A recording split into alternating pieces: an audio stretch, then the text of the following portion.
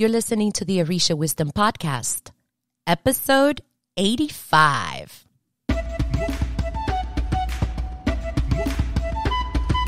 Welcome to the Orisha Wisdom Podcast, where growth and spirituality create an enhanced life's journey with the wisdom of Ifa and Orisha in our everyday lives. I am your host, Omileti Olubunmi.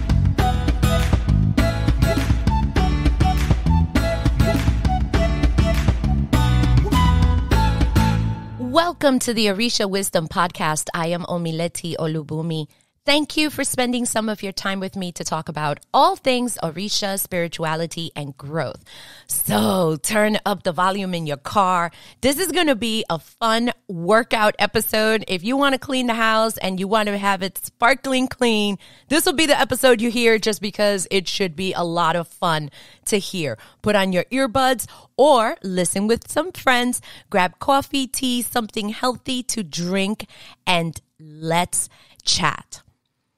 This episode is special. It is very special because it is a an idea that came up while I was swimming and the idea was, shoot, if I was to do this all over again, what would I do different? What would I change? What would happen? How would I start over? Like, what would I do? And the idea started kind of bubbling up and I decided I am going to ask around this question. And I have brought someone into the podcast today, which I'm so excited about because this person and I are like peas in a pod. And he has been in the traditions for a lot longer than I have. And I am so excited. But before we get into that, let's take a listen to the sponsor of today's episode. And with that, let's go. This episode is being brought to you by our newest resource available, the Aleyo's Guide to Godparents. Inside of Alejos 101, there is a great new framework to a challenge that is one of the first ones that any and every new person will encounter. And that is the how to get a godparent. For you, I have created the Aleyo's Guide to Godparents. This is a brand new and it's created because of the many questions that this topic gets. What is it?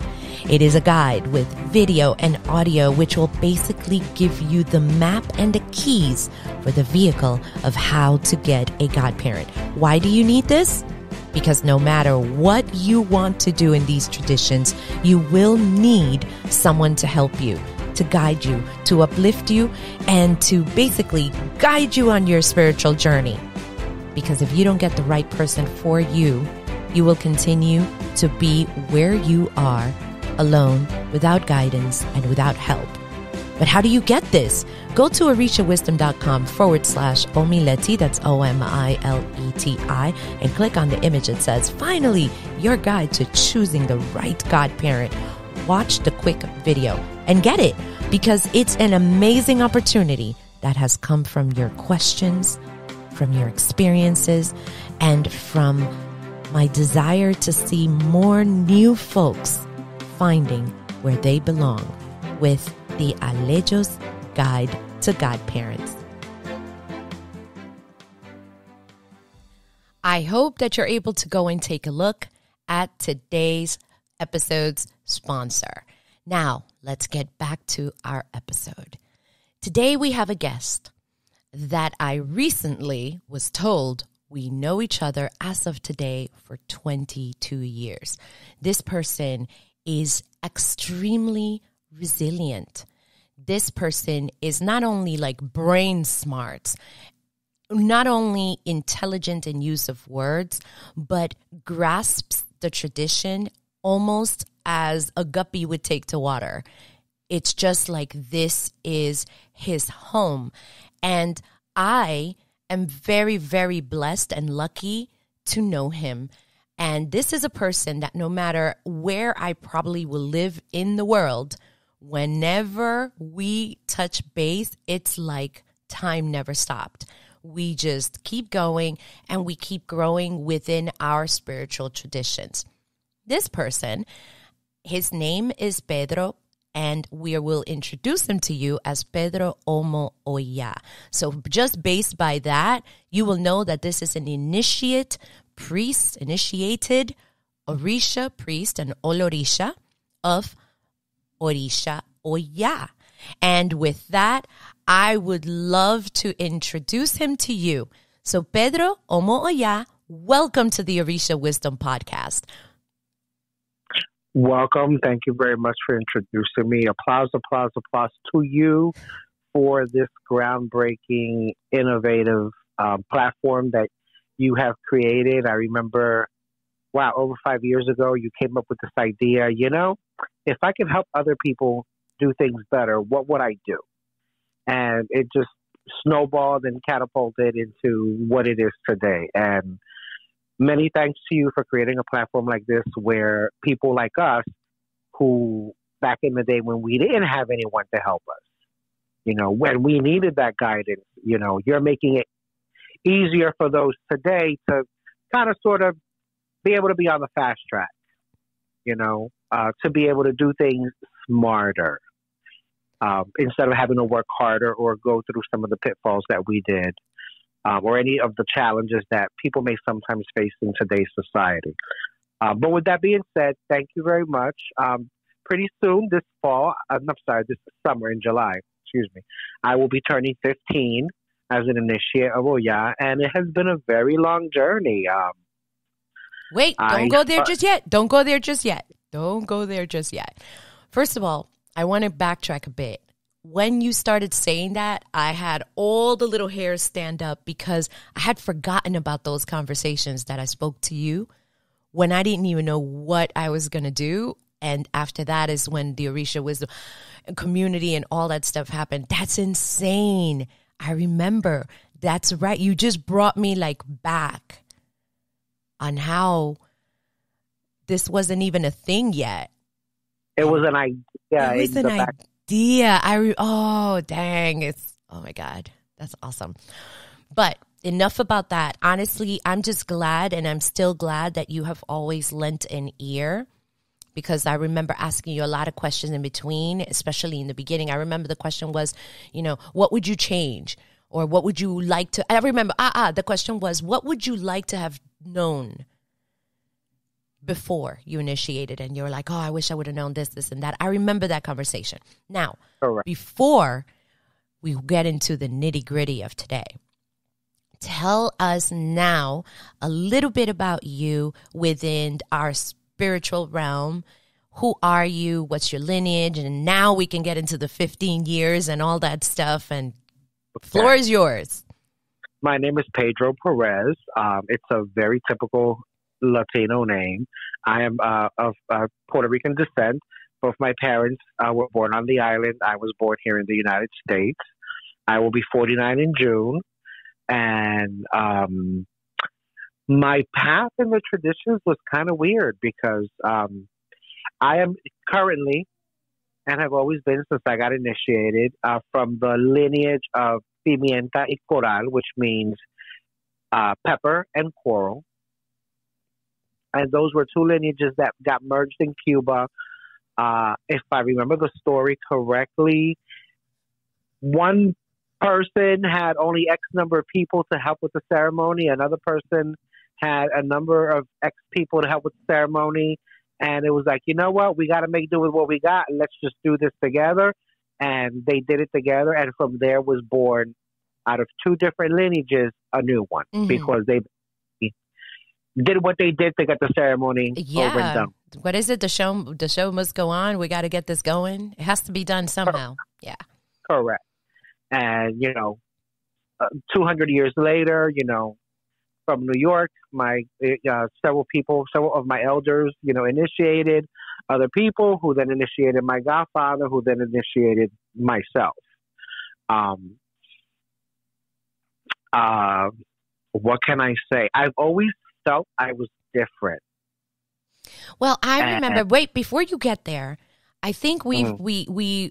I don't want to touch on it too much, but I know that you had your foot, you actually, not even your foot, you were big into Espiritismo before crossing over to the Orisha side.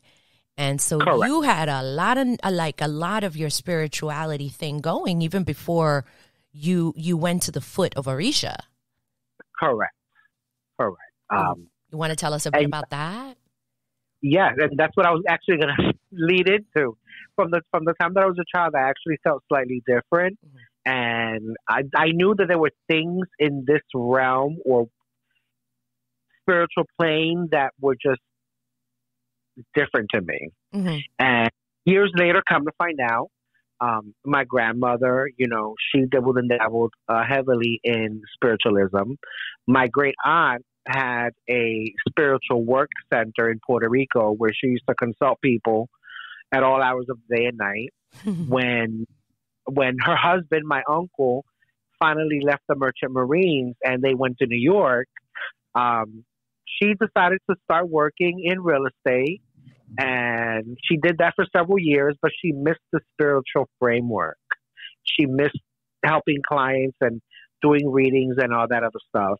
Mhm. And she met someone who encouraged her to open up a botanical shop, which she did. And that's where she met her godparents who walked in one day. And lo and behold, she had Shango crown for like 40 years. Mhm. So all this is going on as I'm like growing up and not really realizing this. And then I met someone in uh, in college, my my now deceased ex-wife. Um, her and her mother and her grandmother and her great grandmother and her great aunt were all spiritualists. Mhm. It was a, a family lineage, a family tradition. They all had psychic abilities and they were able to channel um, spirits and and spirit guides and things of that nature. And when I went to their house one day, I just noticed, you know, a couple of statues, this, that, the third. I'm like, oh yeah, I've seen this. Mhm. Grandma has, Grandma has one just like that. What is it? And that's what led me to first get beads in 1992. And by 1997, I received um, my warriors, which is uh, your Mhm. your two basic your two basic initiations. Yeah. One, you know, your first initiation is obviously, you know, you get protective beads that are under the tutelage of a godparent. And then you get your warriors, which set you into the path of Orisha. And that began my work, or uh, excuse me, it set the groundwork for Mhm. everything else. Um, once I got married, my ex-wife and I, we used to consult people. There were times that, you know, she might not be in that frame of mind because of work, stress, or whatever. And sometimes I would have to take on some of her clients. Sometimes she would have to take on some of my clients. Mhm. And what kind of readings were these? there were spiritual readings, right? There was there were Yeah. spiritual readings, um, sometimes with tarot cards, sometimes with um, another type of um, uh, Spanish playing cards, which we call briscas. I don't know what they're called in English, uh, but they're the ones The that one with have the copa and one with the la lámpara. Okay, okay, yeah, yeah. Those are the Spanish playing cards. Um, and to be totally honest, there were times that I would literally say stuff to people, and it wasn't really me talking because, personally speaking, when I have gotten my tarot cards read, I don't believe a single thing that they're telling me. But conversely, when I am in that frame of mind and I am doing the reading, it's literally not me saying things because I'm looking at the pictures like, what the heck is this? And but the words that come out of my mouth are like nine times out of ten totally on point. I've had people come back to me two days later and say, "Oh my God, that person you told me that was gonna tell me that they were pregnant and try to bamboozle me. You were so right. Like, how did you know that? I didn't know that. Per- I didn't know that were the guides, maybe, right? right. The guides were literally feeding me information that I'm mm. saying to this person, be careful with this chick because she's going to try to make you be the baby daddy. And he came back three days later, like, oh my God, what do I do? like, you were so right. How did you know this was going to happen? I didn't know. I mean, you know. I remember. but- I, wait, wait, wait! Don't don't go just yet. Don't go just yet. Don't go just yet. I know that it wasn't just about um, spiritual readings, and one thing that absolutely excited me about you. No, no, it wasn't your just good looks. it was your love for herbs. And you had this knack. I think you still have it. I think you still have it. It's just that I know that when you initiate, sometimes you kind of have to temper a few things off to give way to the Orisha traditions. But I remember one time, actually many times, we would talk and you're like, oh my God. I woke up again and this Egun took over and now I have a whole bunch of little botellitas with little baths and I don't know what's what because nothing's labeled. And I would be dying laughing with that. That is a memory of you that I hope to always take with me. I could just see you. I could I could picture you. I had never been to your house at that point, but I went to your mom's house, so I could picture you in that kitchen, waking up like, oh my god, that was a good sleep. What the heck just happened here? There's just botellitas all over the place, and what the heck is all this mess? And there's plantitas all over the place, and so you you remember that? I know. I've, I've always had a thing for plants. Yeah. My mother never had a green thumb, and my grandmother could grow everything but a pencil. That's so hysterical. And I mean, I've been to Puerto Rico a bajillion times um, Uh-huh. since from the womb. Two places I don't get lost in are the Bronx and Puerto Rico. Hysterical. Um, very hysterical. My mother had it in for my father during her pregnancy. She needed to get away from him like every weekend That's hysterical. uh, while she was pregnant with me. So she would go visit her sisters in the Bronx. You throw me in at 149 in Grand Concourse. You throw me in Hunts Point. Uh, you throw me on Southern Boulevard. I'm home. I know where to go. It's hysterical. I know how to get back home. You throw me in Manhattan. I don't know. You throw me in Brooklyn. Maybe if I find 287, I might make it back to over the. Don't worry. If it's in Manhattan, I got you. maybe I might be able to find the Outerbridge crossing. You throw me in Puerto Rico before GPS. I've actually No. been from one part of the island to the other to visit relatives I hadn't seen in like 20 years. A whole new highway, a whole new expressway had been constructed. And I got there door to door in like 1994 without a GPS. I'm, yeah, you're crazy. Now, Um, plants. Still crazy. But- I wouldn't but do going that in back- Puerto Rico. But, but going back to Puerto Rico, um, every year, every summer, even when I was in college, every um, winter break or summer break, I would go visit my grandmother for those six, seven weeks that I'd have off. Mhm. And she taught me the love of plants. My grandmother had everything and under the sun in her backyard. My my grandmother would literally grow aloe vera plants with spikes four and five feet big Wow. in between rocks. And then having, because they have a lot of babies and a lot of offshoots. And and that would literally be, be sprouting out from a rock. I'm like, Grandma, how'd you do that? Oh, I just stuck it in there with some sand and some dirt, and it just took off. it's hysterical. So I didn't know this bit about you. So in all the years, this part I didn't know about you. So your love for plants was, I mean, Passed on from my grandmother. yeah. Like my mother would try to grow plants here and there, but they never really. Now she's getting like my grandmother. Like I recently went to her house um, a couple of months ago, and I actually looked, and she had an aloe vera plant that was like two feet high in the middle of the kitchen table. I'm like, Mom, okay, like you really got to do something. Like you need help. That's good. No, no, no. Like, what- That's good. We need to encourage that so that then she can Yeah. give you some. So now, now she's finally developing that knack. Gotcha. Um, but anyway, my grandmother was the one who taught me you use this herb for this, you use this plant for that. Ah, This is toxic to the body. This makes a soothing tea. This is good for, um, I don't know what it's called in English. In Spanish, it's called tartago. It looks similar to a maple leaf. mm, The leaf has five, um, five fingers or five peaks, so to speak. mhm. and it's a toxic herb if you in, uh, con, um, consume it.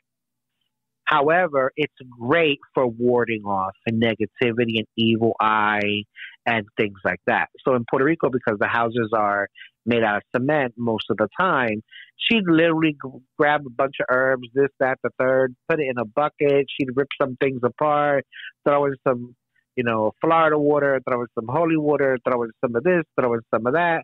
And mm-hmm. she'd literally go, go around the house with like a piece of the stick from the tree mm-hmm. and she beat the walls. Yeah, I, I, think that's a very common thing um, in Latino households. I don't care what country or what spiritual tradition you're from. There's usually some form of beating up the house with the plants, especially for cleaning. Not just Latinos. I was once um, stuck on stupid watching almost every episode of the Long Island Medium, and oh. she one time said something that made whether you believe her or not, or whether you're a fan or not, she did make something that she did say something that made sense, and that was when things happen in a house, it leaves an indelible fingerprint. I believe that. And that's why you need the sage, incense, and basically smoke things out because you need to remove the pain from the wall. Interesting. Or something to that, mm-hmm. or something to that effect is what she said. Because I think a crime had happened in a house, and she was trying to get to the bottom of the mystery, uh, and no one knew. You know, it just felt like there had been a lot of pain in the house, and I think, like, let's say a family had been murdered or someone died who was sick or whatever, the house was sick from the person's pain. I got it. And that makes so, sense. And that makes sense. And, and that, that's where the misas also come in. And that's why we do um, incenses before and all of that stuff and, and the water and the cleaning. I get it. That makes sense. You know, so I learned all of that from my grandmother. Mm-hmm. And 95% of her children and most of my relatives were baptized Catholic. They grew up with a mother who was semi spiritualist and then they all became God fearing Christian. So they all went from one extreme to another. Mm. Um, and with me, it was just like, oh my God, this is cool. This reminds me of something, but I couldn't figure out what. Mm-hmm. So one day I had a conversation with my mother, and I said, Mom, did you ever do ABC one two three like grandma when I was itty bitty, like first second grade? Mm-hmm. And she says, Yeah, I used to do it all the time. I said, Okay. That's why it seems familiar to me. That's why it seems like home. Oh my God. I was just thinking the exact same thing. I was like, oh, it seems like home to him. And then now think about it. So then you get married to something that absolutely fit into what we, what was your feeling of home. Correct. So it's like you're fitting yourself into your perfect shoe. Correct. Ah. Well, by the Correct. way, while you were talking, I did a quick search. So the tartago plant is also known as caper spurge, by the way. And it's called, like the the scientific name is Ricinus communis. R I C I N U S communis. But you can also get Tartagus you can also find it that way. And it is also poisonous to livestock. It affects the bone marrow. So people don't be drinking it. Here you go. Oh, oh wow. I never knew that part. Yeah, just literally as you were telling me, I'm like, hmm, because I know about tartago, but I didn't know that. So, well, okay. there's another plant. There's another plant that's very similar to, since we're on the topic of plants. And this is how I learned that one was toxic and one wasn't. There's a very similar plant that has a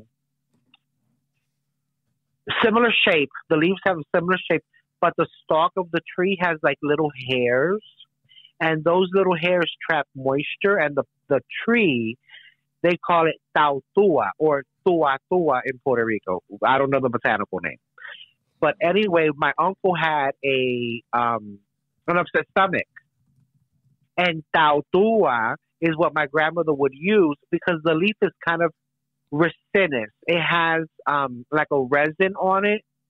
It's it's not necessarily waxy, but when you break off a leaf, it starts to tear. And those drops are what you put in a homemade tea to alleviate the stomach. Guess what it's And called? I- it's commonly known as bellyache bush. Is that hysterical? I'm literally learning this up. So tua tua, it's called Jatropha gossypifolia. That's what it's called, but it's commonly known as the bellyache bush. Look at that, and I never knew that. Yeah. Um, and I literally went and grabbed four or five leaves of tartago. Oh, And my grandmother looked at me, she's like, Oh my God, what are you trying to do? You trying to kill us? That's hysterical. She's like, That's poison. And I'm like, but, guess, I'm glad que tú no mataste a tu hijo, a tu tío. That's it. I'm glad you didn't do your uncle in. you know, so it was it, it was it was just interesting and I would just go around the back, backyard, Grandma, what's this? I never knew that basil came in like a red color. Um, and my grandmother used to call it yerba moran, which is like a uh, moran means like purple. Purple. Yeah, I never knew that there was like a purple bush basil or something like that. I think that's what it's called, purple bush basil. Um, and you know, she just taught me so many different things, and that just made my that just stimulated my mind to want to learn more. Like I knew my life had a bigger purpose than just learning about plants.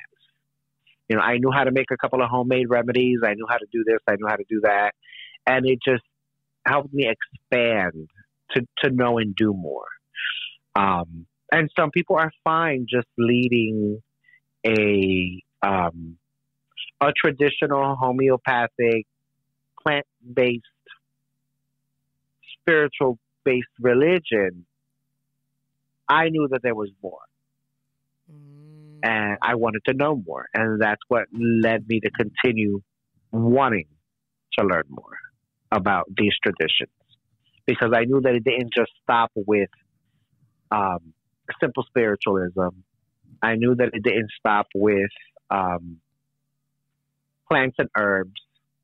And I started buying books, Don't we all start by buying books, right? Oh, we all. I do want to say something. If that is your path to lead, you know, just to clean your home and just, you know, to do a, a white bath every now and then or, you know, to put incense every now and then, there's nothing wrong with that. Nothing totally at all. Nothing. Because if that is what you're meant to do, and then you push to be, you know, um, the medium of wherever you live and the spiritualist of wherever you live, you're going against what you're supposed to do. But you early on. So I wanted to go back before we get into the next section. You said something. You said when you were little, you knew you were different. And I know we're going way back because the conversation got really good and I didn't want to interrupt that. But what So, what does so that going mean? back, that you it- knew you were different. I mean, you're already in a very spiritual kind of home. What what does that mean? Well, see, it meant when I have that conversation with my mother about my my grandmother doing certain things, and she telling me that she used to do the same thing. Mm-hmm. I asked her if she remembered if she remembered anything odd about me doing something similar. What did she And say? she- She told me a funny story when I was about three years old or four years old. I don't know what happened that I went to the bedroom. I grabbed one of her blue or red handkerchiefs, tied it around my head. I grabbed the bucket. I grabbed the mop. And I grabbed some Florida water. I grabbed a couple of things, put them in a bucket, and I started cleaning the house in a spiritual way. Apparently, I must have seen my mother do something. And I guess I must have felt that the energy was off or something was wrong at home. And I went and I did the same How thing. old were you around? I may have been about three or four. That is, you know, that's like to us, that's like the cutest thing ever when the little ones they start like mimicking, but they but they put two and two together and why they're doing that thing. Okay. right. Um, and she also remembers that I think my father who didn't appreciate that kind of stuff. I think she said my father spanked me for Ooh. doing that. Um, Mm-mm. and I guess it just got it was like a buried memory. Interesting. So you okay? I I find and and it's funny because for my kids, at least the two little ones, um, although my oldest one is now twenty three, when I really dove into the traditions like really really deeply, he was about three or four, and Right, I remember. yeah, of course, of course, you remember because we met when he was like in diapers, and um, for him, this was normal as well as my kids. So interesting that you knew that you were different, but if my kids were to tell you that is perfectly normal, normal day to day, that's normal. If somebody dresses in white, it's like, oh, I guess they're doing something oh yeah, we got to do incense. Okay, whatever. Like it's so normal Right. for you. So what you mentioned was so you grew up with this. Your grandmother was into this. Your mom was into this, but then your mom moved and she stopped. But my Your mom- correct. My mother. Yeah. my mother had my mother had a, an experience, uh, totally unrelated, but it Mhm. was a, a life changing experience for her. She was coming back from a funeral in Puerto Rico, and they must have circled the New York Bay like ten times. The plane ran into some turbulence and some really really rough weather. Mhm. They really thought they were going to lo- lose their lives. Yeah, that's scary. And and after that, my mother just you know like she stopped smoking, she stopped drinking, she started going to church more often, and she just became grounded in her faith. In her way. I've in her way. Yeah. I've always had conflictive feelings regarding mainstream religion, okay. only because for me it felt forced upon. I know. I understand Where- what you're where- saying.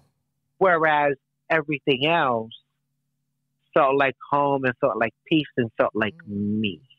Got it. Yeah, and that's that's a feeling that you can't fight.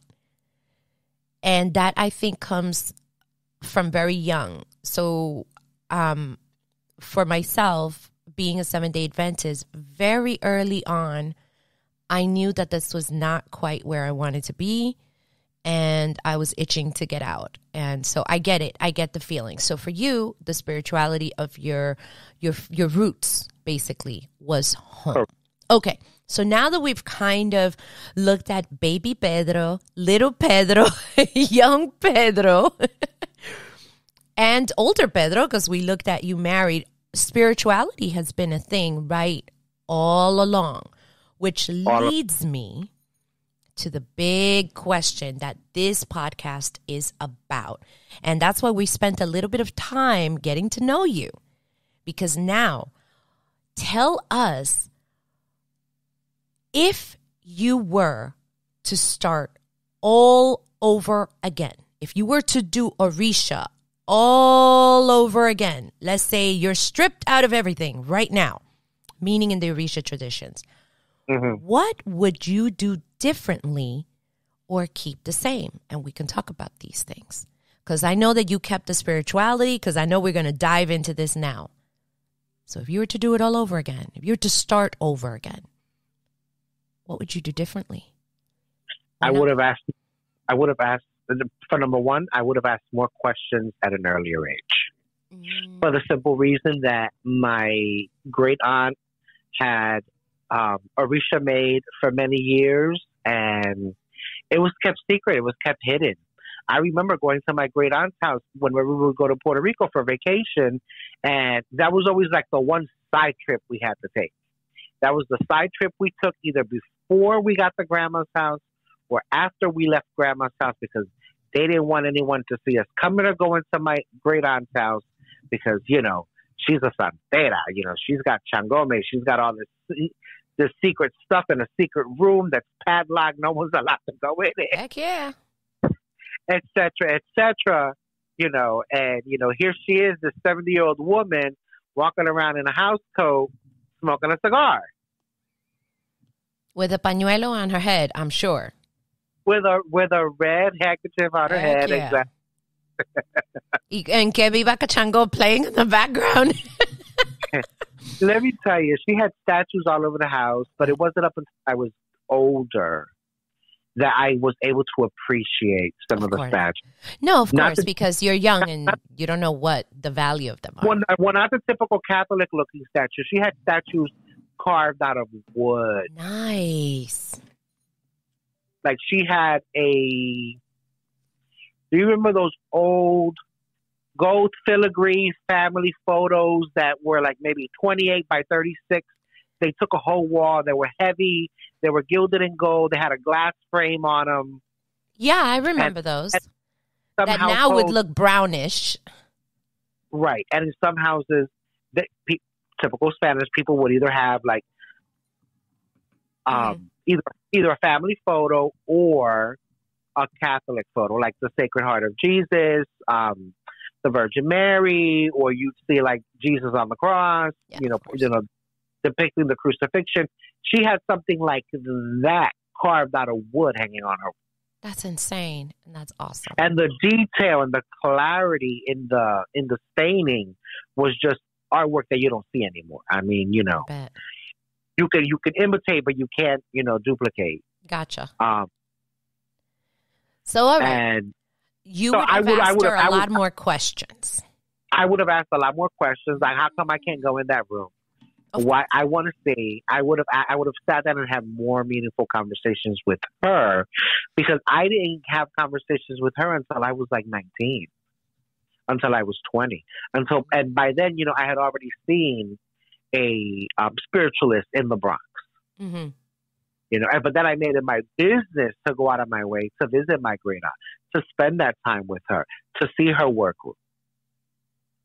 Why? You know, it's funny get- because out of all the things that I would have said, knowing you for over two decades, I wouldn't have said that.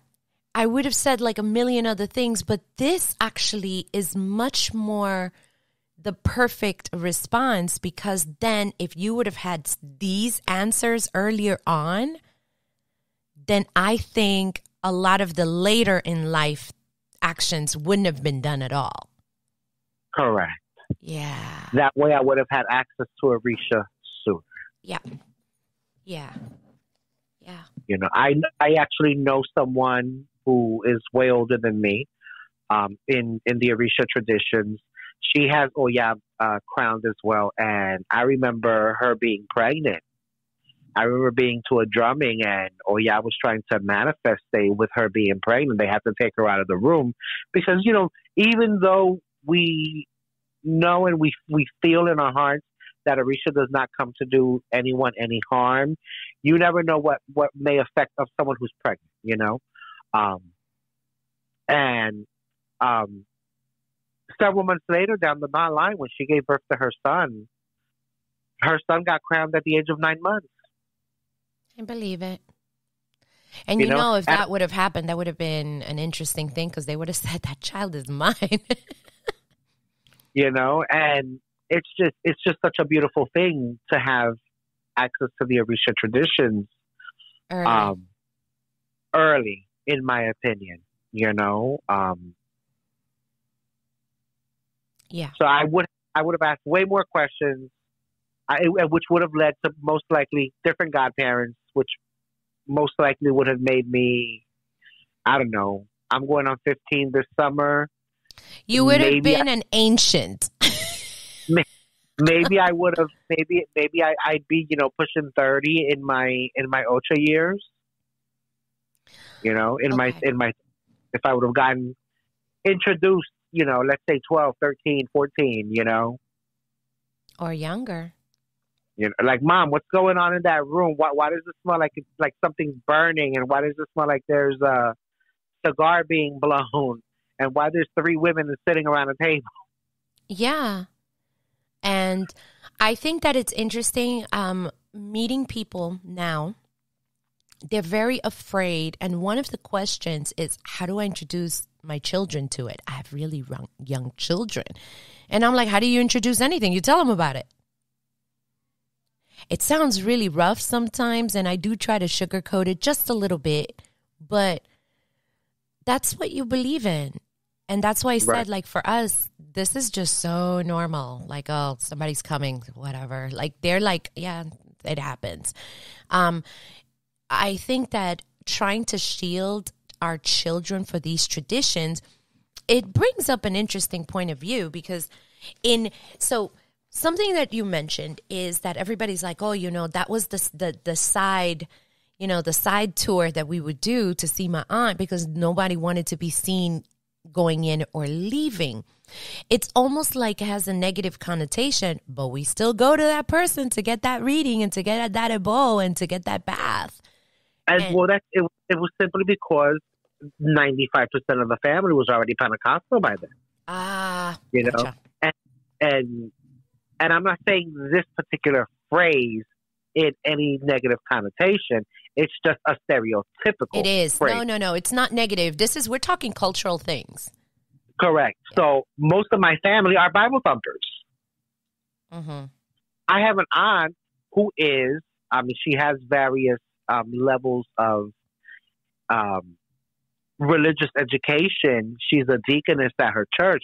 But one of my aunts preaches on a radio show out of radio show, show out of Philadelphia. Yeah, at least at least twice a week. It's like her part time job. She hits the streets to feed the homeless. She'll go on a three day spiritual retreat at the church where they are literally fasting and drinking nothing but water for three days.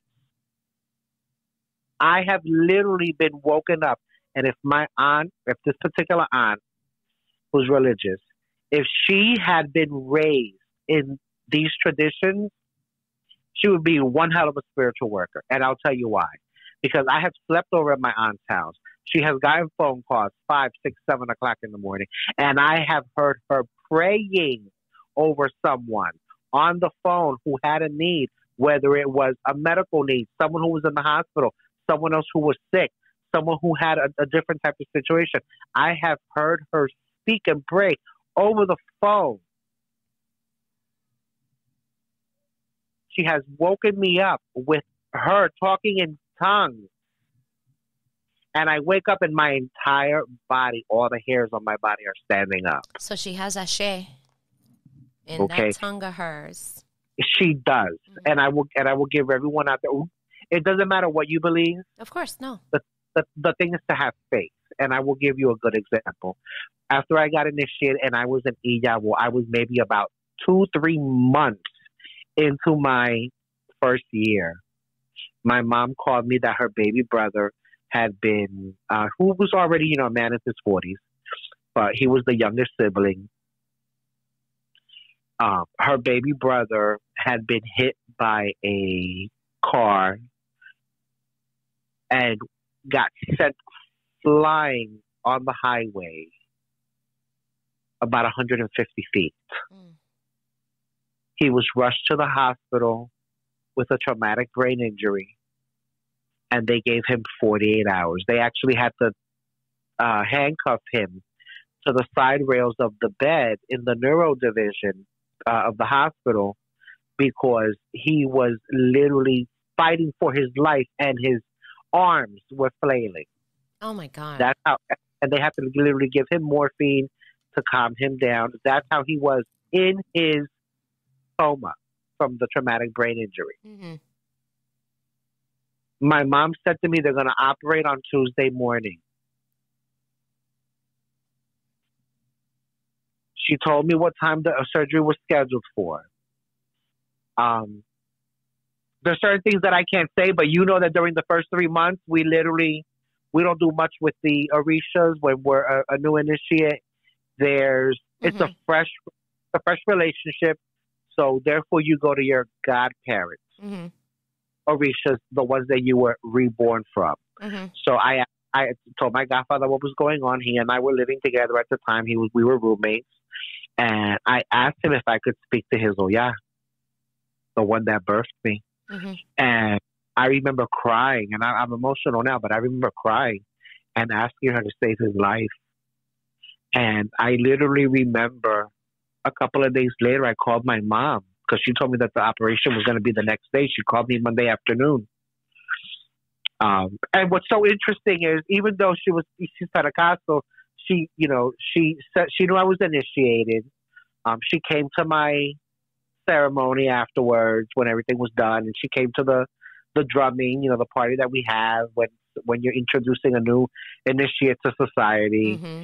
And I remember her telling me Friday night when she called me with the original phone call, you know, I don't know what you got to do over there, but you know, if you got to speak to your peoples or something That's to that effect. She's like, you know, talk to your godfather, you know, maybe he could speak to you know to your people. Mm-hmm. And I'm like, and I'm like, this is hilarious, but you know, when it's life or death, you will pull at whatever straw you have left Correct. in your hand. I agree. You know, when you're up against, you know, the wall. And I called her Monday evening. We spoke. She told me what time the operation was going to be. She said, say a prayer, light a candle, do whatever you, you know you got to do over there tomorrow in the morning. So, because we don't know what the outcome of this operation is going to be, they needed to go in and uh, re, uh, do a um, do create a flap on his scalp, do a craniotomy to try to relieve some of the swelling and pressure in his brain. And I remember calling her Tuesday morning around lunchtime. And I said to her, How did the operation go? And she said, They canceled it. I said, What do you mean they canceled it? Like, did he die? Like, what happened? She's like, No, your aunt came in here last night with some people from church and she prayed over him and she um got touched by the Holy Spirit. She was talking in tongue and she in, in tongues while she was doing her thing, she asked someone for some oil and she anointed his body and he woke up this morning wondering why he was in the hospital. Wow. Yeah. Ashe, I think comes so, to so anybody. Believe whatever and, you want to Yeah. Believe whatever you want to believe, whether it was me praying at home out of faith or whether it was my mother or my aunt, but something happened. Absolutely. Literally, something happened because so, how do you cancel how do you cancel a craniotomy and the person just wakes up? Yeah. I'm I'm saying there's a lot of things that go on in the spiritual realm. So Correct. with that, we need to understand that the power of prayer and faith in whatever faith you have is very can, important. And it can literally move mountains. Of course it can. Now, if we are so now we're taking away the aspect of your aunt, the other aunt, the one in Puerto Rico. Mm-hmm. If you were to do it all over again, so let's say obviously you didn't get to do that, what would you have changed in your journey then? I probably would have started when I got my Warriors in '97, I probably would have started looking for godparents then. Okay, but you did find godparents, obviously. Correct. Obviously. I found godparents. Correct. I found them several years later in 2003, 2004, and it took me a while to um,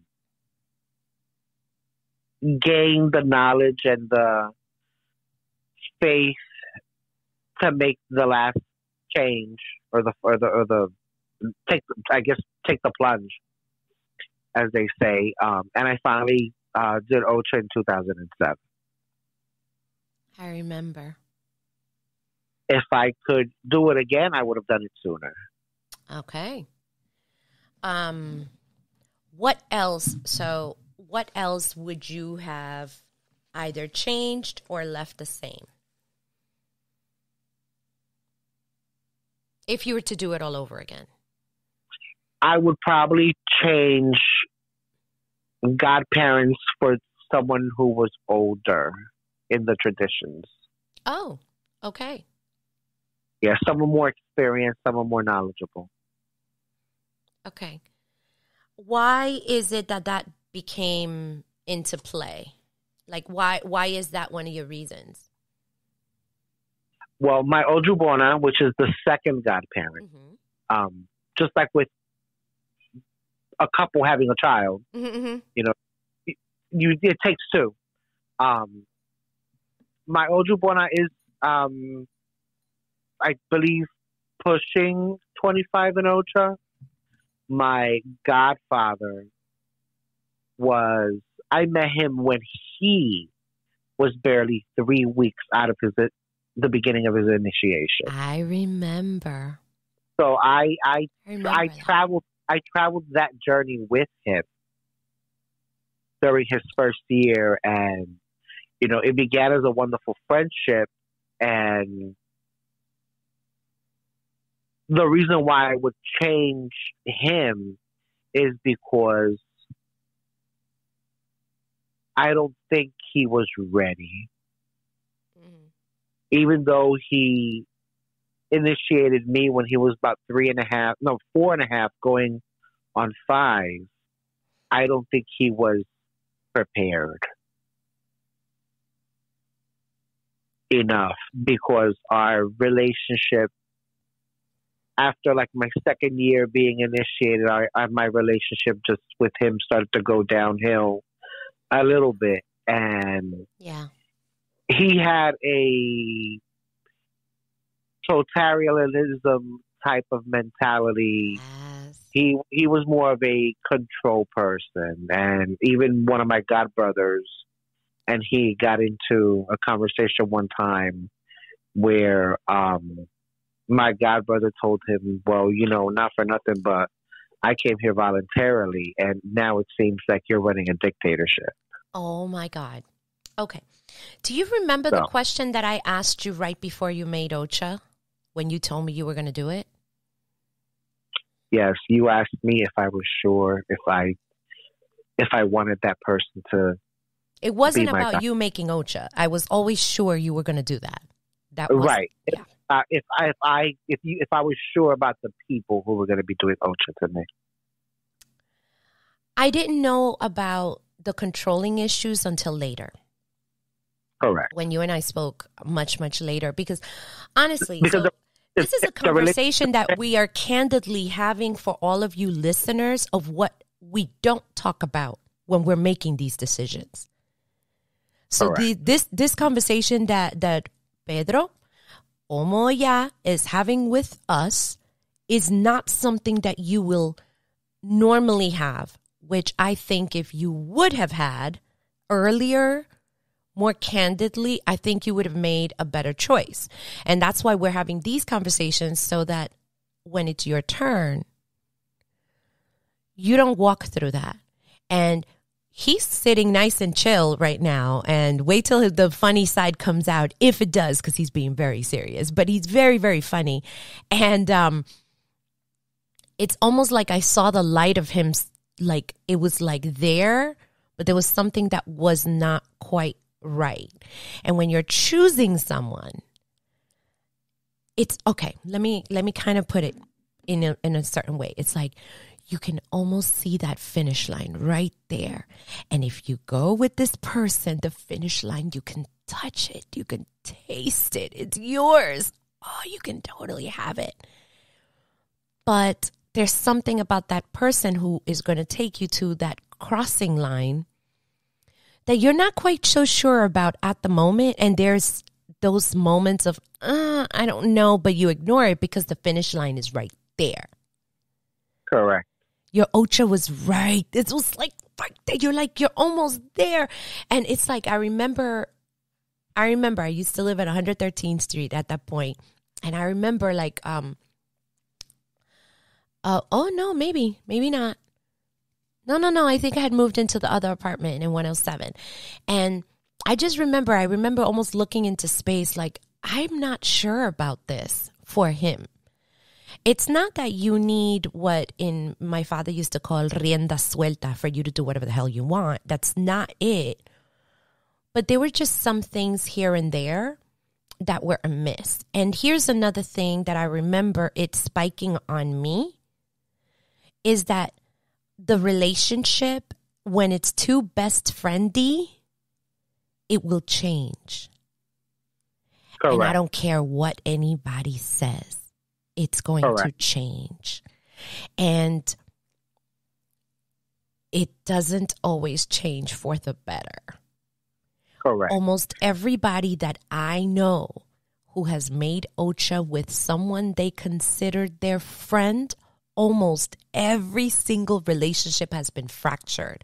And if they are still godparent and godchild, that relationship is severed from friendship. And I think that that also played a tone in your relationship with him, I remember. Correct. And I'll expand on that just a little bit just Please. to give um, our listeners a little bit of insight. We were best friends. We would go everywhere. We would um, go to parties, hang out, go to clubs together. Um, we ended up moving in together. He's got one bedroom, I've got the other one. We we, we were literally living a Laverne and Shirley type of life. You know, two best friends. The minute that he put beads on me, the minute that we started making moves towards Ocha, now he is my religious godparent. Yeah. Now he has a say. Authority. He has a certain authority mm. In what you can and cannot do. Mm-hmm. That's where the relationship changed. Once Pay I- attention, well, people, it- to this. I like pay well, it- attention. well, it- well, it, well, it started changing. It started changing, and those were some of the signs that you picked up on. yes. You know, because I remember you asking me one time. You know, I know he's the best friend and everything, but are you sure you want that for yourself? And I could not see. I think you were trying to be I was trying to be diplomatic and I didn't want to burst your bubble because one, I absolutely wanted you to to do this, but I just wasn't sure and I could almost see it, but I didn't know what the it was. If that makes any sense to anybody. Correct. Correct. And um, once I did do OCHA, then it totally changed because now, excuse me, I thought I was going to sneeze and I ended up yawning. It's okay. Uh, it's okay. For a period of a year and seven days, he has total, the godparent has total authority because you have to abide by many rules and regulations. You know, you can't go out at certain times of the day. You should be home when the sun is setting or before the sun is setting. You can't go out if it's raining without a, a covering on your head. you can't go on by noon. You can't let the sun hit you. You, I mean, there's a lot of rules. It's, we're talking about um, uh, Lukumi. The, the Correct. rules are different for Isheshe, and I'm not sure exactly on the rules for candombles and voodoo, but I only speak on the ones that I know, so I get it. So, you know, there, there's a whole set of guidelines that you have to follow. And then there's the, but I'm your godfather. And unfortunately, um, I'm like eight years older than him in life. I've already been married, been divorced, owned a house, sold a house, owned at least two, three cars. What do you know about life? That's why I think you said you would have liked somebody older and more prepared. I think now that we're talking about this candidly, I think that it's important also when you're looking for someone to find someone who respects your age here on earth Correct. and what you've been through. So if I would have initiated when I was 21, I'm a little nothing at this point. I'm I'm not even a little shoot that's getting up. Mold me, I'm yours. But if I am, you know, much older and I've been through life, there has to be a certain respect that is already given to you and it should. And I think that when we're starting in these traditions, we're so rushing to get that godparent that we will bypass certain things that in another situation we would not bypass. And I think that's what happens here. Correct. Yeah. So, And of course, it it turns into you know well you know you, you can't do this you know you can't do that you know you can't do this and you know you say something and I I said this one night.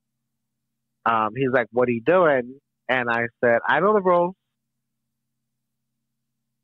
Um, and I won't get into what the details are Mhm. for, for for the sake of the podcast. Um, but I just wanted to be done with it. I mean, technically, it was after midnight. I got up to go to the bathroom and I said, Oh, let me just take this off. He heard me flushing the toilet. He's like, What are you doing? You know, where's your head covering? I said, Oh, I took it off. He's like, Why? I said, I know the rules. And I just went back to bed. That there was a little show of defiance. So let me let me kind of so I'm actually looking around and I'm picturing the whole thing and I think something else that needs to be said and also it's it's very important because you didn't say this but again I'm I'm starting to backtrack to people that I have met over the years. You should never live with your godparent. I don't care. Don't do it. Very maybe very stay true. over maybe for a weekend maybe Right. for like if, if, if for ceremonies or sh- oh yeah, definitely ceremonies. We're not talking about that. We're talking like a living situation. Maybe if you you I don't know transitioning like no more than a month. I'm not kidding. Don't do it. Every and I mean every single situation of every single priest. We're talking initiated people. We're not talking brand new people. That is a different type of relationship. But even so, never, ever live with your godparent. And I think that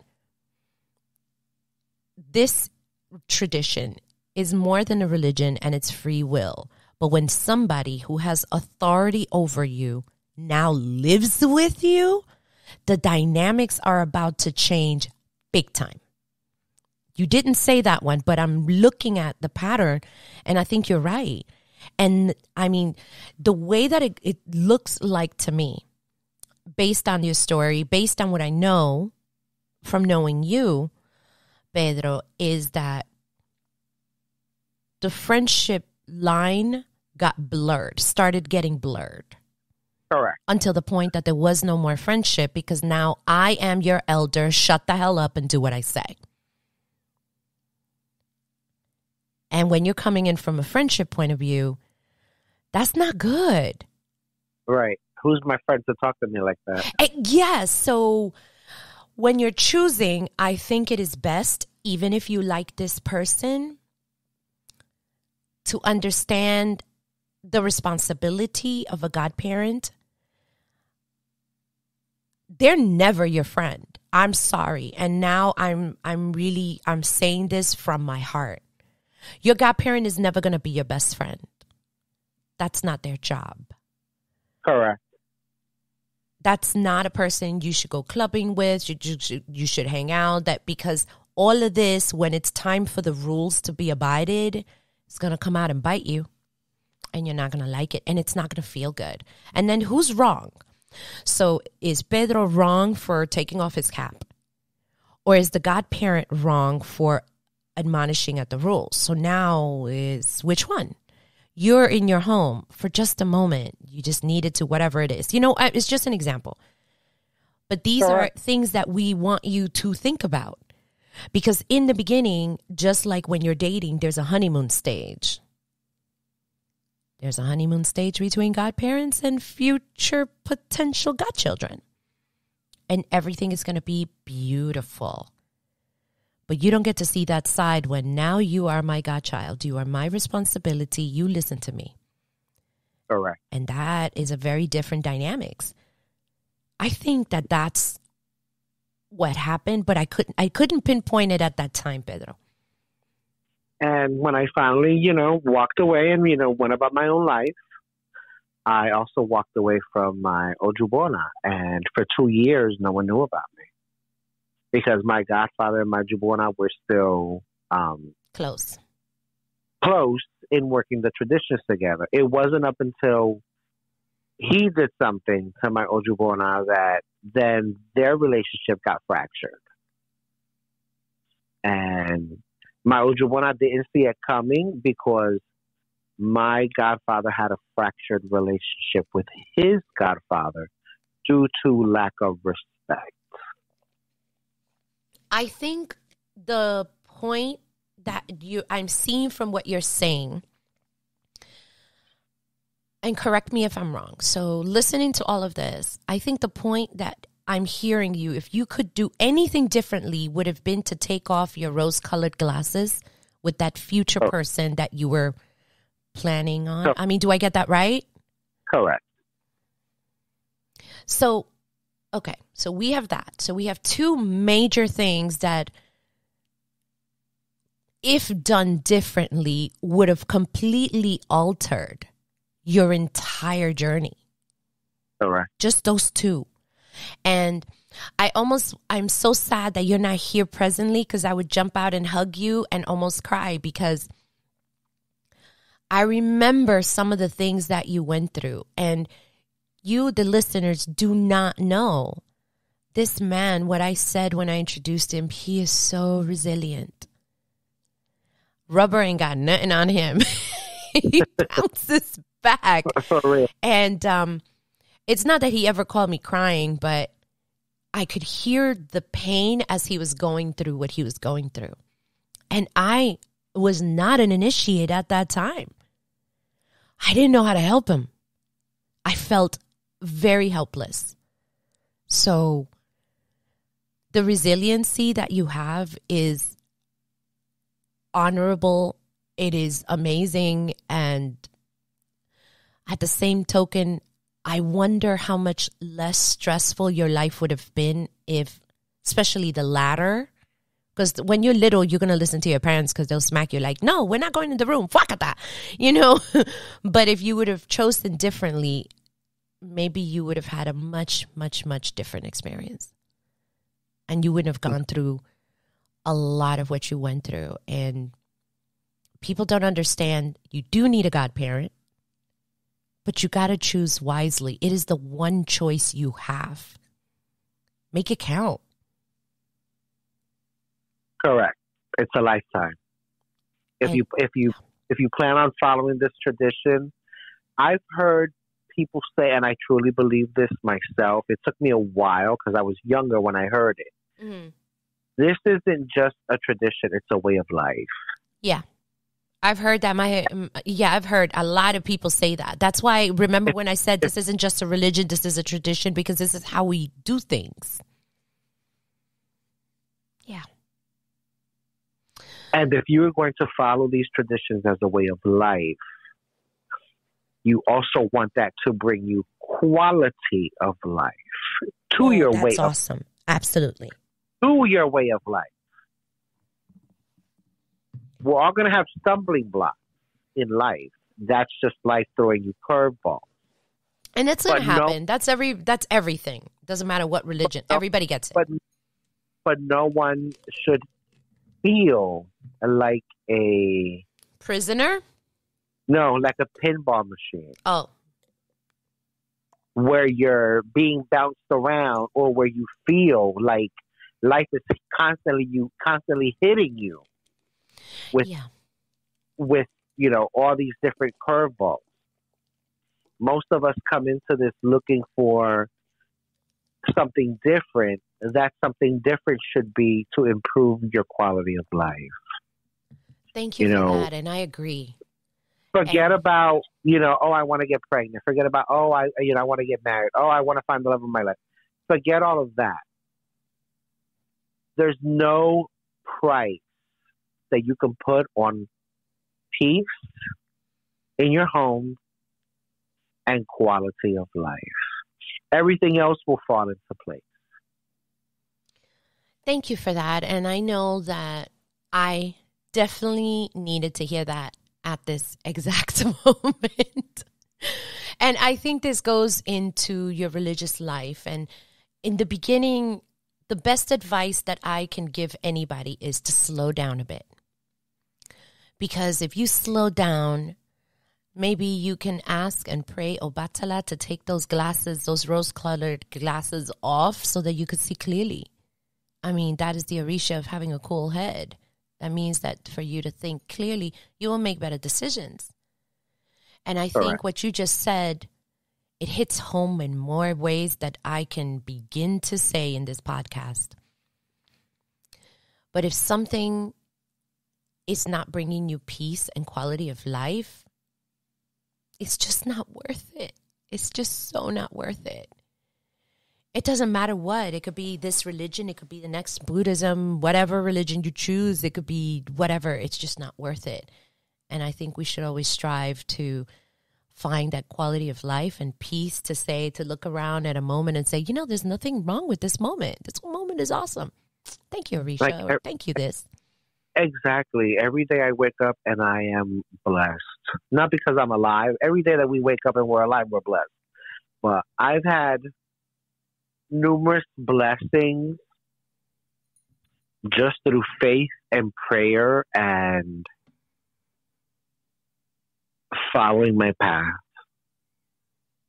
Mm-hmm. I've I've been blessed where I mean to put it bluntly, I have doubled my income in the in the last five years. Ah, That is wonderful. And I, yes, that's wonderful. And I remember when you were going for a certain position. I remember we were talking, and when you got it, it was like, I don't know how you were able to tell that to me so calm and coolly and collected. I would have been screaming and skipping like a little girl. Uh, you know why? Because it, it needed to happen when it needed to happen. Gotcha. See, I wanted that promotion.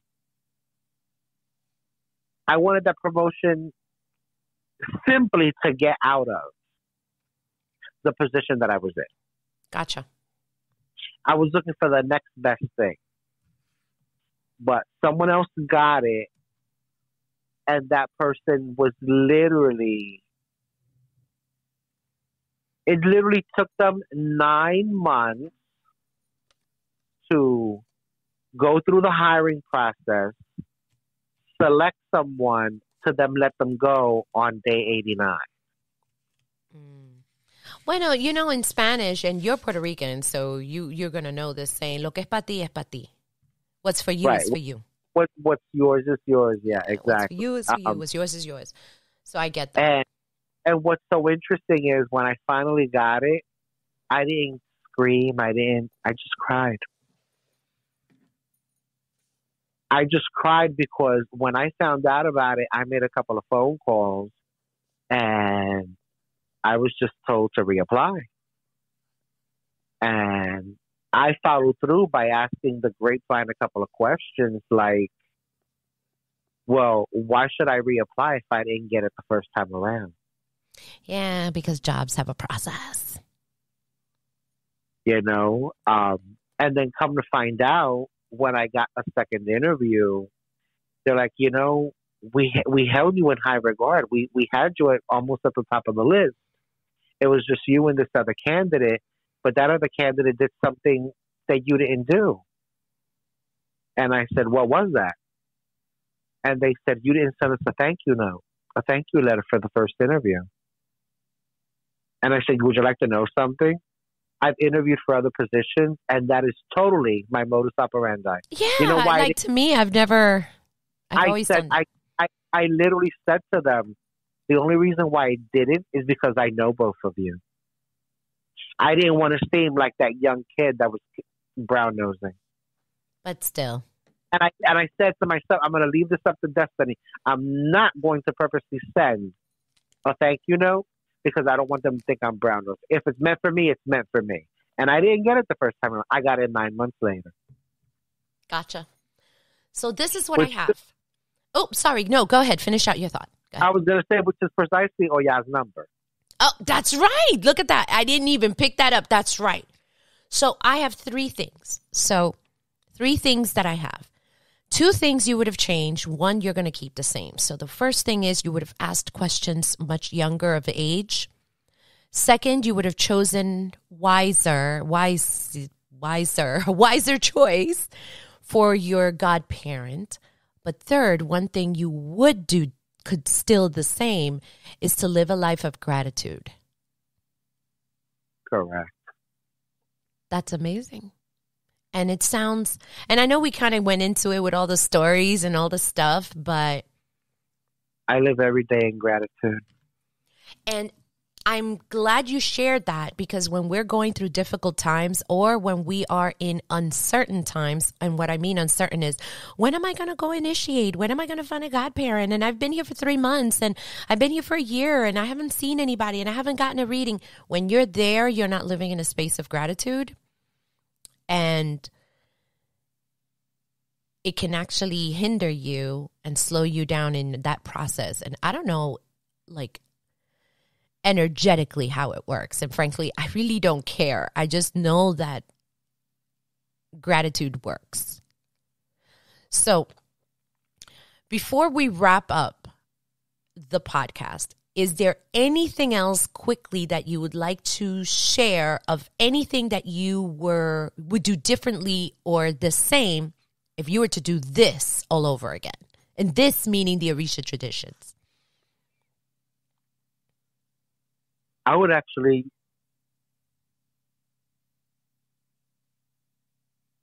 tell people have the conversations early. What kind of not conversations? Ne- not necessarily about expectations or what you expect or what you hope to achieve with a potential godparent. Direct, blunt conversations in respectful tones and respectful manners this is how I am. This is how I expect to be treated. This is what I am looking for. Lay the cards out on the table so that if it isn't a fit, at least you know early on. I because if you this. can't those, yep. if you can't believe those conversations, if you can't have those conversations early on and say, well, you know what, this might work for me, but this might not work for me. At least you know that you went in being totally honest and what you expect. Because at the very minimum, and this is very big for me, it took me years to understand because when you're young and capricious and you know you want things your way you know it's one thing but once you're older and you actually learn the true meaning of what it is to respect not just someone who's older than you in life, but respect your elder in the religion, it brings such a meaningful purpose. And I will give our listeners an example. My Ojubona, which is my second godparent, he and I have a beautiful relationship. I don't bother him for anything. When I say I don't bother him for anything, I don't even call him to tell him, hey, how you doing? We text each other. A, he's a busy person. B, I'm a busy person. Um, but the one thing I have for him is the utmost respect and admiration. He is a child of Obatala, and he truly is a polite, gentle person until you cross that line. and his nickname, his nickname is Iceman. For his 15th Ocha birthday over 10 years ago, we literally, a group of us got together and we had a shirt designed for him with um, a picture of Watala, his um, Ocha name, um, a crown done in sequins, and on the back it says Iceman. I love it. I love it. Because he is so nice and kind until you cross that line. And when you cross that line, that's it. You're done. Gotcha. He, unfortunately, unfortunately, he as a human trait, I would say that is his downfall. As a as a human, his fault would be is that sometimes he can have very little patience. When you but when you do something over and over and over, he'll give you a second chance. You may even get a third. But by then, you're done. Well, by then, I'm and sorry. that and, and one of when one of the reasons why I respect him so much is because of what I've went through. And he and I had a candid conversation. And we had a kind of conversation when I came back into the picture after his relationship with my godfather became fractured. Because he was an adopted, because my godfather was an adopted godchild, there was really no religious ties one to the other other than the fact that they had crowned godchildren together. Um, but there was no reason why my Ojubona could not say to him, you know what, this isn't working out. You go your way, I go mine. Mm-hmm. So because there were no real big ties, my Ojubona was able to do that. Once I came back into the picture and we had a conversation one day after a ceremony, there were other priests and priestesses there. And then literally it became like a Me Too movement. This was like in 2011, about the time that the Me Too stuff started coming back. I mean, coming out. Oh, that's funny. And so now this is the Ocha Me Too movement. This was the Ocha Me Too movement. You know, I started speaking out and I started saying, well, you know, he did this, he did this, he said this, he said that. You know, my Ojubona was like, "Oh my God, how come you never told me?" Like because I, you don't, and I can totally, I can understand why you don't. Fear, you don't say fear, anything. You're scared, fear crapless. Fear of backlash. Absolutely, exactly. I get it. I get okay. it. Then godchildren that my godfather, my, I'm sorry, that my Ojubona had crowned. Well, he did this to me and he did that to me and he said that to me. And he was like, What? Now, wait a minute. I'm your godfather. How come you didn't tell me that? Because you fear. And this is okay. So, for and all of you listeners. Oh, go ahead. And then, and then three other people came out and, and said and added to the situation as well. Well, yeah, because and, fear and, and the relationship of the godparent is is one that is unique. This is a person that you're supposed to respect. This is a person you're not supposed to question. This is a person who's supposed to know what to do in that position of authority of a, over another person. Correct. It's scary as like AF. Like really. And and, and at least five people came out, including myself, and we, you know, we when these things were finally said, it was like, oh my god, I wish I had known. I mean, they went on trips together to, you know, initiate other people. I bet, yeah. In, in Cuba and in Mexico, they've traveled to, they have traveled to California and to Chicago to initiate other people. You know, had he known this, he himself would have severed the relationship.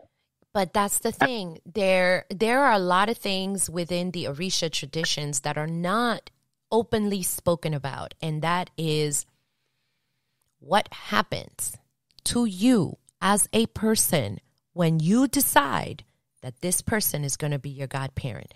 What can they have they done to people when they're great and when they're not?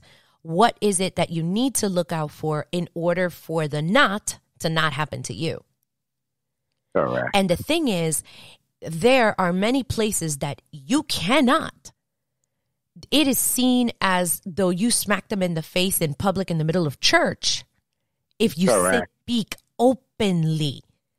And we're talking serious things. We're talking theft, rape we're talking major. And even though it is even wrong in in in in a court of law and the religion is that's okay we're going to take it to the orisha and we're going to put it under the rug you don't speak about your godparent that way. You got to respect your godparent. And then the torture and let's just call it what it is it's abusive behavior. It continues. Correct. And when we're we're not doing this podcast to scare anyone because there's many things that you know first of all he still has a crown on his head. He like oh you know pedro you're still an amazing human being. All of these things shaped you to the human that you are today. However right. would it have been a little less painful if some of these things wouldn't have happened? Heck yeah. Of course.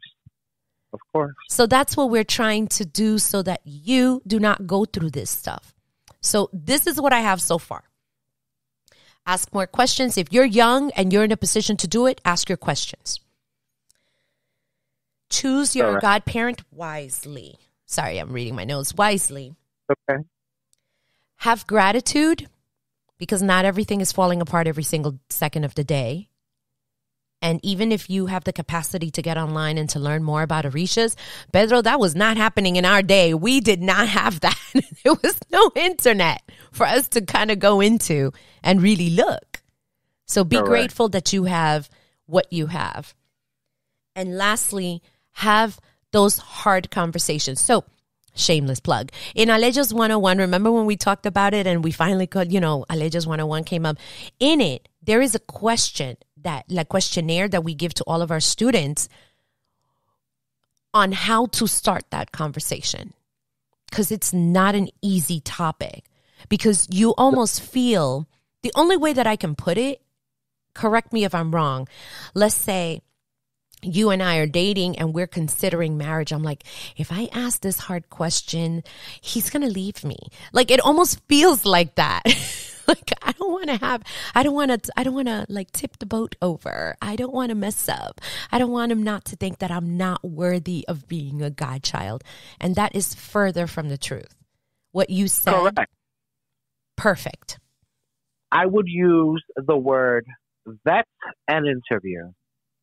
When you are interviewing candidates and you are vetting someone for a position in your whether it's in your life or at work or a significant other, you have to consider anything and everything that can happen. I like that. So there so therefore by vetting and by interviewing prospective godparents, you can get a better picture. And ask their elders. Do not be afraid to ask their, their elders. Hey, may I ask you a question? How is this person with regards to, you know, ABC one, two, three? And do it in a don't do it behind their back. No. Do it obviously, hey, you know what? Can I can I speak with your elders? Can I speak with your peers? And that's the thing. So thea- here, what you said was really important because I know of a particular situation right now where there are no elders available and they can do whatever they want. That's always a red flag. If that's somebody that you cannot vet them with someone, Yeah. that's a red flag. There has to be someone who knows them well that you can. Um, some people do not have godparents anymore. The godparent may have died, right? The godparent may have moved away or they have drifted away. That's okay. But there should be god brothers. There should be god sisters. There should be another type of elder that they go to. If they do not have an elder above them, that is probably a problem or somebody that they don't that they work with. Correct. And if you do not see That's that, a major red flag. that's a because major red flag because you could get yourself stuck into almost a cultish situation.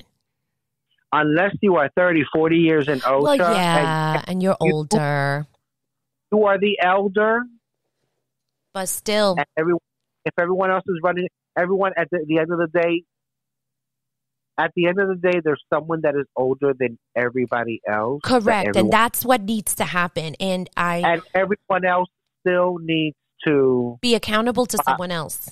be accountable and, and still follow guidance. And I will, I will circle around to one thing. When my grand, when my godfather and my Ojubona's relationship became fractured, I don't know what the circumstances were because I wasn't there. Mm-hmm. What I do know was that my Ojubona's godmother, until she passed several years ago, Mm-hmm. when she was still around, she looked at my at my Ojubona and she said, "Richard, that's it. He's done. I want him out. You put his stuff on the front porch. Let him come get it. Don't open the door."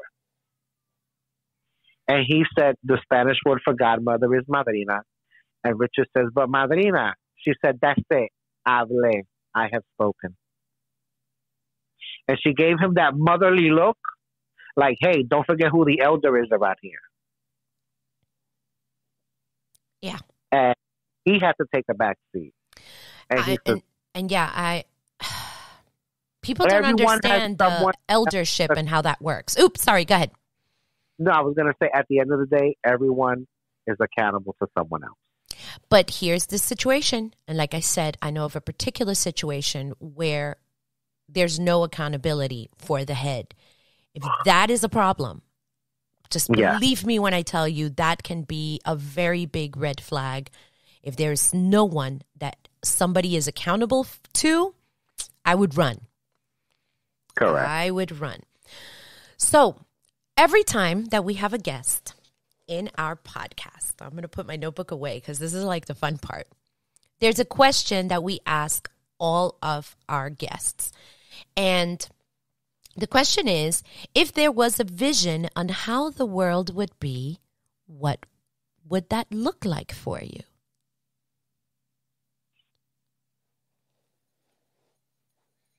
It's something so basic. Go ahead. Um, I wish everyone would have the inner peace and tranquility that they deserve. Just, I've seen the world change. I'm only, I'm only 48 years old, but I'm an old soul, and I've seen the world change so much in my years here on Earth that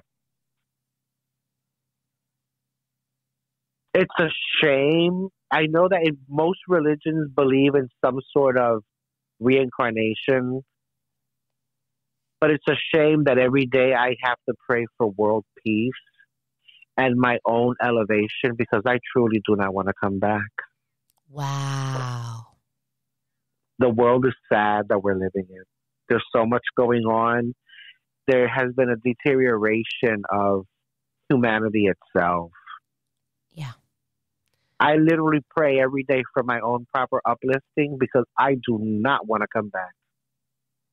I want to make it to that white light and, and not come back. Run, run. Don't go into the light.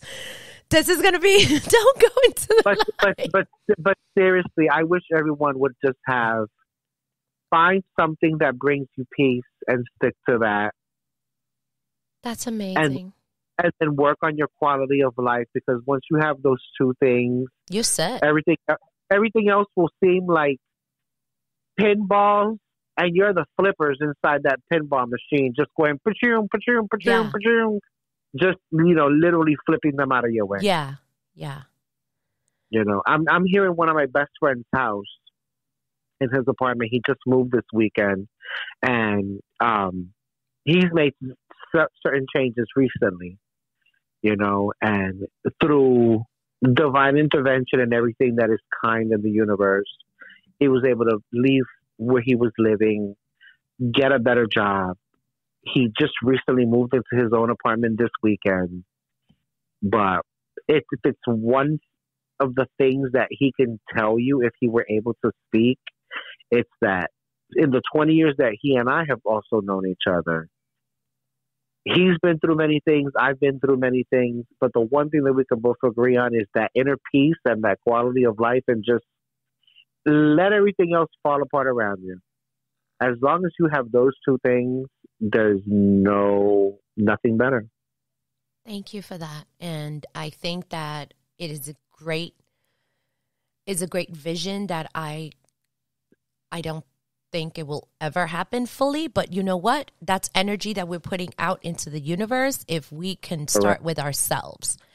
So, Correct. where can folks find you online if they want to further this conversation, if they want to chit chat, if they want to tell you, I loved you on the podcast, I want to chat with you. Where can they find you? excuse me, I'm, I have to yawn again.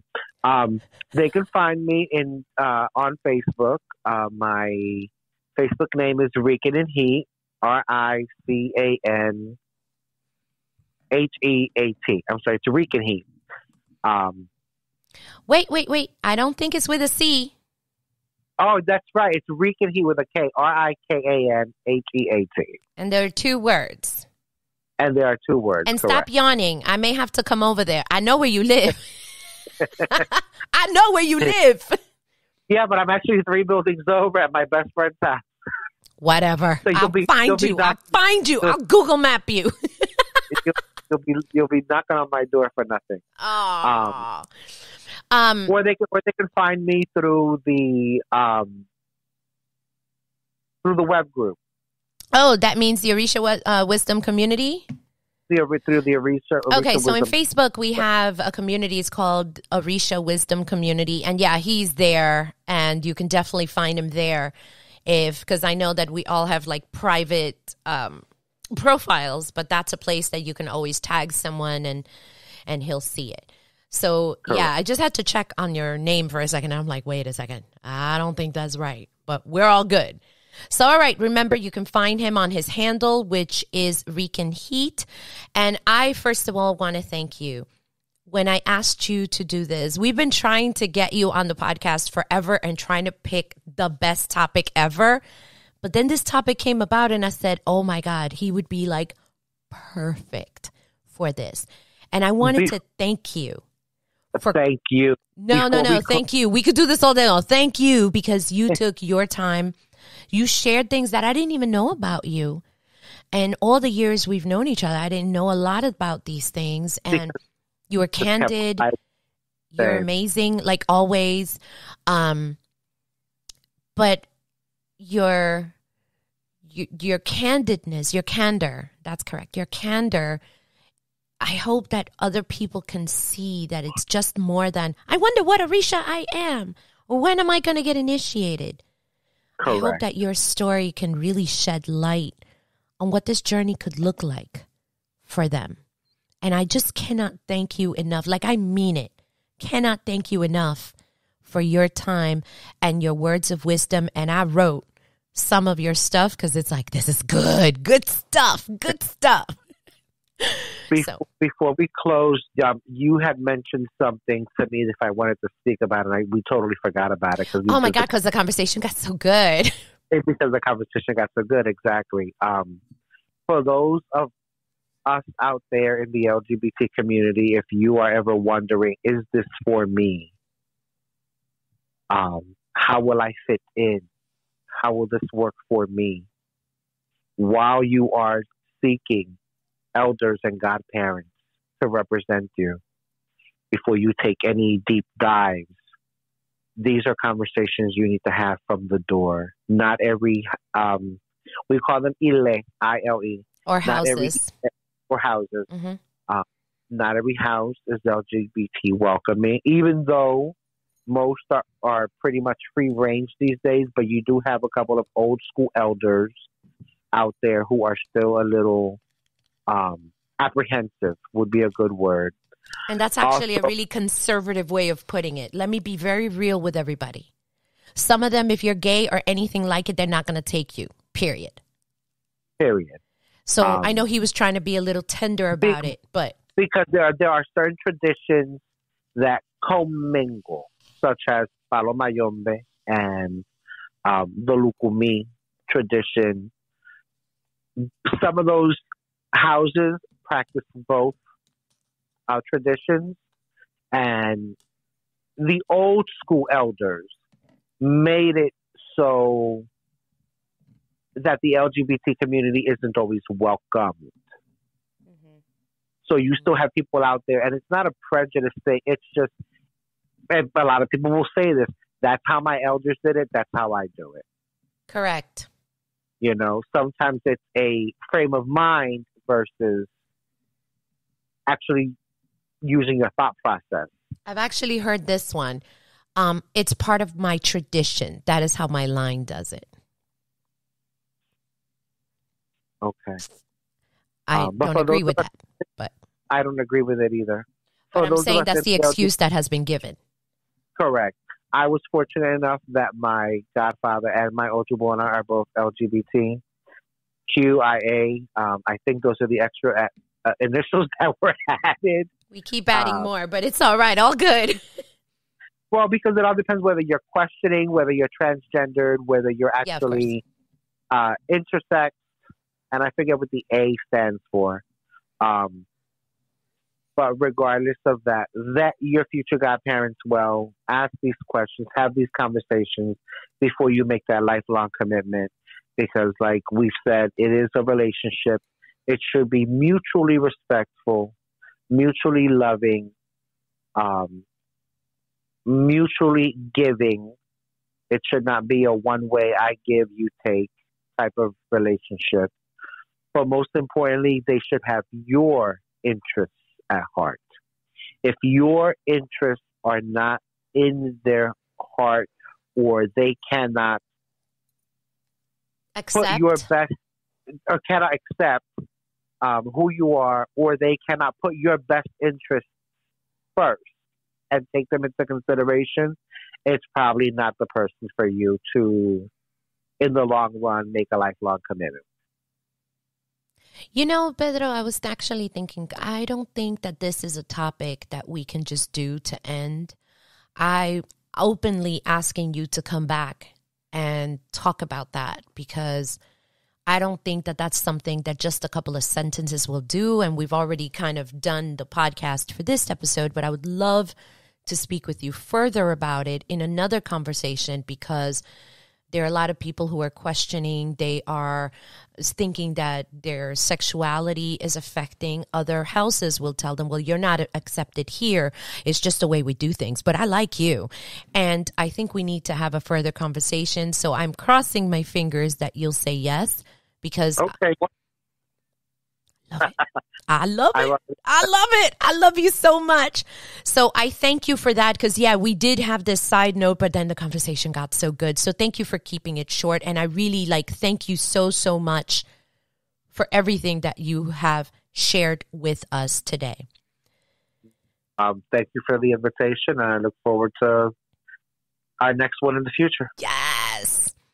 You have reached the end of this episode.